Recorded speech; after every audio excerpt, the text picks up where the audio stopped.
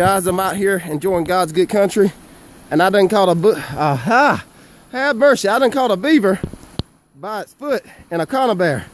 And that ain't normal, but um, I used the castor from one job, and I caught it on another. Have mercy. He wants to die. He wants to die, but you ain't going nowhere. You ain't damming up no more creek.